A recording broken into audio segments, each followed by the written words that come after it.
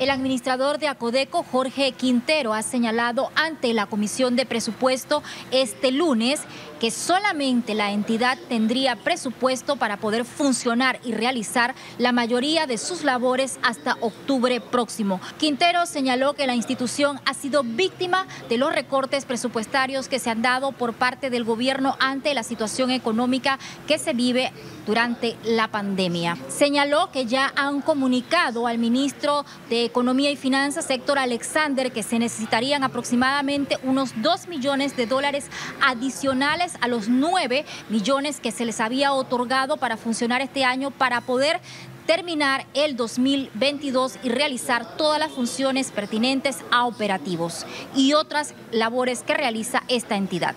Yo, si me falta pararme de cabeza es lo que me hace falta, diputado, porque ya eh, yo le he mandado no menos de 6, 7 cartas al MEF, al ministro, al viceministro, con copia al, jefe de presupuesto, a todos les he mandado notas diciendo que a Codeco ya hasta octubre, prácticamente le he dicho que Codeco se termina en octubre si no nos mandan el presupuesto.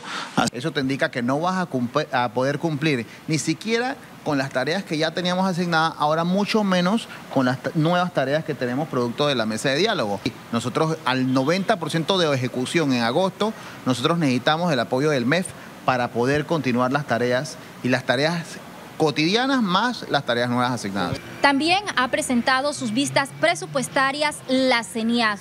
Se nos ha informado que han solicitado 15 millones de dólares para el presupuesto del 2023. Sin embargo, el Ministerio de Economía y Finanzas ha recomendado 11 millones de dólares. La directora de esta entidad también habló acerca de las inspecciones que realizan en los albergues y denuncias que reciben de otros casos.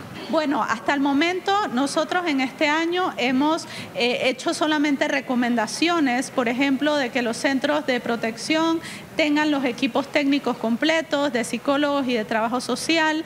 Revisamos el plan de atención individualizado de cada niño Actualmente diferentes entidades se encuentran presentando sus vistas presupuestarias en la Comisión de Presupuesto de la Asamblea Nacional. María de Gracia, TVN Noticias.